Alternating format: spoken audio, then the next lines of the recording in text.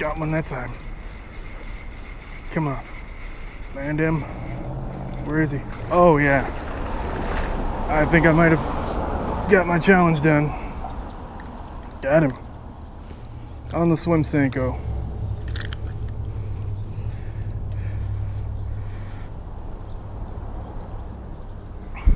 Oh. Ow, bastard. It's an aggressive one.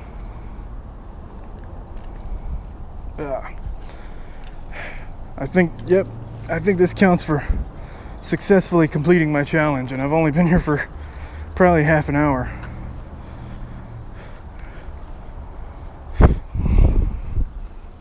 Finally.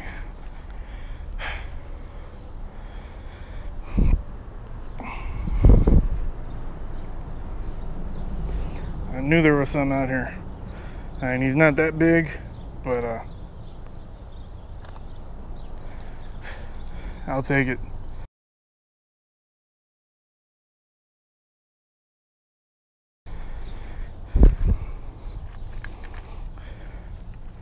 Try to get a weight on him real quick.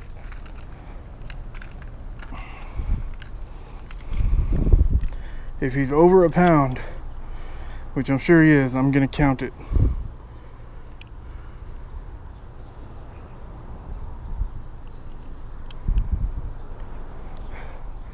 Oh yeah. 1.16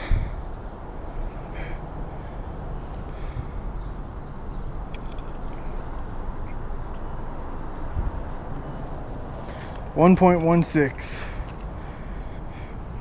and I am very happy with that. I've been here for 21 minutes in this spot.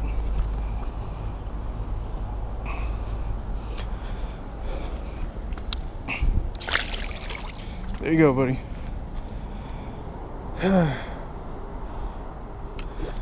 I finally did it. I've been fishing this place my whole life.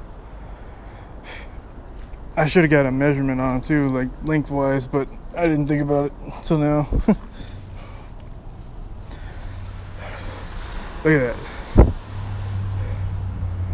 Tore it up. Ugh. Finally caught my fish. Caught a bass out here. Uh, wasn't as big as what I was hoping for, but I'll take it. It was keeper size. I'm gonna consider it a success. Finally, it took me five whole days. Well, four whole days and about half an hour on the fifth day. I've only been out here for uh, literally the, the, time on my camera whenever I caught the fish was 21 minutes. So, uh, yeah. Uh, there's a spot under the bridge. There are fish here. I caught a decent sized catfish the second day. And then today on the fifth day, I got my bass. So, uh, uh, I'm calling it a success, and I'm never fishing here again. Uh, in the 20 minutes I was here today, I lost three of my best lures because there's so many things to get snagged up on. And even the fish, even when I caught the fish, he shook the lure loose and ripped it up. It wasn't, it's not usable anymore. So uh, I don't have any more swim Senkos. That was the last one. I might, Have, maybe I have one more. I don't know. Anyway, I'm done with this place.